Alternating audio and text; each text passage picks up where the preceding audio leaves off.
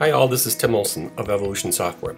In today's video demonstration, we're going to use PowerPack Pro to convert native SketchUp files into usable solid models suitable for filleting, chamfering, and export to STEP, IGES, and SAT. In this demonstration, we're going to show three things. First, we're going to demonstrate converting two example native SketchUp files into solids. Second, we're going to show some of the options available in a little bit more detail for converting meshes into solids. And third, we're going to look at a few tips for converting files. Let's go ahead and begin our demonstration by importing this native SketchUp file into ViaCAD Pro with PowerPack Pro. And we have a SketchUp file with a bunch of kitchen cabinets that we're going to do our first demonstration with. So we import it, and I have a display of facet edges on so I can kind of see what I'm working with here. And I'm going to go right to the Mesh, uh, Analytic uh, tool and convert one of these cabinets uh, into a solid. And I'll just uh, leave all the default settings and go ahead and select the items, the components that I want to convert and uh, let the tool run on it. Let's go ahead and create the second cabinet next to it into a solid as well. Now let's uh, let's go select some of the solids that were created and, and look at them a little bit further. And here you can see it, the cabinet base is now a nice well-formed solid and we have where the drawers fit in uh, a nice uh, solid frame. In fact, if we zoom up and uh, choose our chamfer tool, uh, let's go ahead and confirm this is a uh, nice watertight solid suitable for modeling operations by creating some chamfers on the edges. Next, we're going to go ahead and we're just we're going to convert all of the um, cabinets in the file that are still meshes.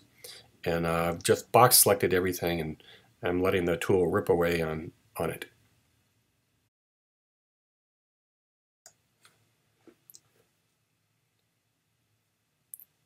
Now we're going to go ahead and isolate the meshes that did not convert. We did get over 150 solids to convert with our initial use of the command. The solids that didn't convert typically are meshes that are not closed.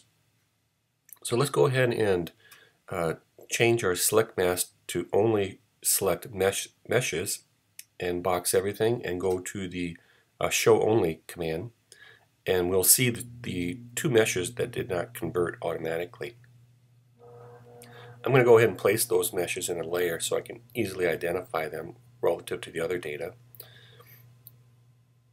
And I'll do that by selecting them and do a, uh, a, a right select, change layer. Next, let's go ahead and show only one of the meshes that did not convert. And we're going to go over to the Mesh Analysis tool, PowerPack, and see what it tells us about this mesh. And we can see it's, it's volume is zero and it has 25 open edges. So let's um, show those free edges and you can see uh, the part is open. And in fact those open edges form a planar mesh. So I'm going to go over and stitch this into a solid by first creating a cover surface of the open edges. Now let's go back uh, to our layer manager and, and turn on uh, the rest of the uh, mesh that did not convert over. And what we're going to do is we're going to use our Mesh to Analytic tool to convert this into a surface. And to do that, we're going to uncheck the closed volume and then pick our mesh. And this time, the tool, you'll see that it works, but it converts it into a, a, a surface.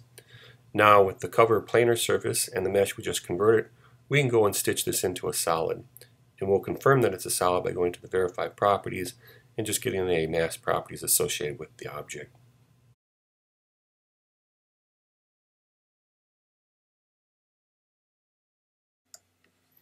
In our next example, we're reading a native SketchUp file that contains a bunch of Lego parts. We're going to show how you can use the Combine tool to group together a collection of meshes into one to convert over into a solid. And we're also going to show how to use the uh, simplify options to convert into cylindrical uh, faces. Let's zoom up on one of the pieces that we'd like to convert. And we're going to box select it, right click on top of it and do a show only. Next, to see how many pieces we actually have here, I'm going to go to the uh, PowerPack Utilities and assorted colors and box select everything and you can see all the different mesh elements that compose this single Lego piece. So what we need to do is we need to combine all of these pieces into one mesh for our mesh to analytic tool to work. So we're going to combine everything together into one, which merges all the shared vertices. But I can see that the Lego is actually a separate mesh. So what I'm going to do is go to separate all parts. And that'll separate the uh, Lego from the actual body that we're going to convert. Now let's go to PowerPack Mesh to Analytic and using all the default options let's convert this part over into a solid. As we inspect our part we can see that the holes and the protrusions are faceted uh, and not true cylinders.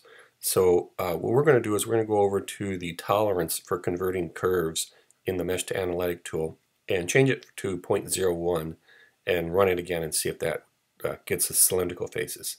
Nope, so let's uh, undo it and let's change it to 0.02, apply again, and uh, convert this part over into a solid and this time you can see at this tolerance we get true uh, cylindrical faces for our holes and our protrusions.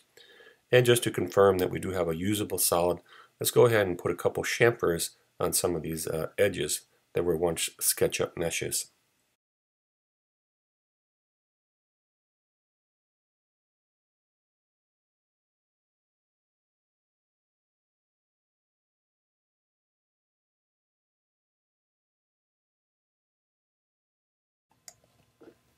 Next we're going to go over the options for Mesh to the Analytic tool. Starting in the upper portion of the dialog box, we see our Curve Simplify tools. This includes options for converting circles, ellipses, splines, and tolerance associated with that from a polyline. Next up are surface shapes. Surface shapes are the open uh, non-volumetric shapes including planar uh, and extruded surfaces. Following that, we have primitive shapes, spheres, blocks, cylinders, torus, ellipsoids, where the resulting shape actually has the parameters of the primitive, such as the torus has an uh, inner and an outer radius associated with it. Next up are the extruded shapes, where the uh, extruded shape will keep track of radius and diameters such that you can get your holes and fillets uh, for your extruded shape. And then lastly, we have stitch shapes. A stitch shape uh, has options whether you want to check for closed, uh, whether you want to reduce it, the triangles into quads, uh, to simplify the shape, uh, and to validate the shape.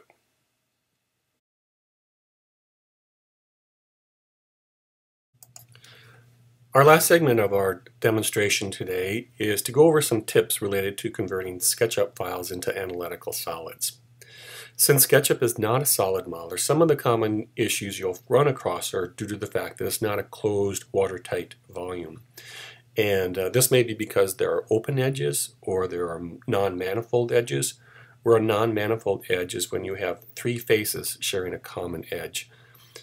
Other issues consist of uh, duplicated or collapsed or even overlapping facets in the original component.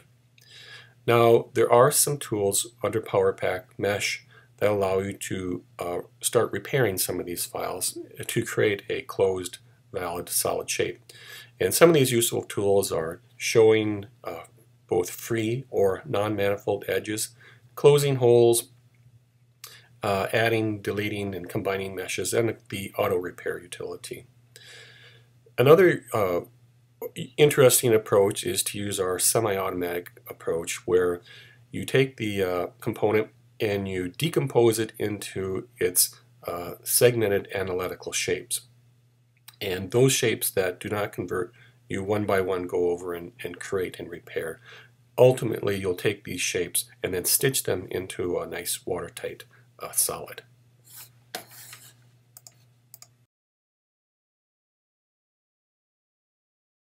Thanks for watching this video demonstration. For more information regarding ViaCAD or PowerPack, come visit us at www.masterviacad.com.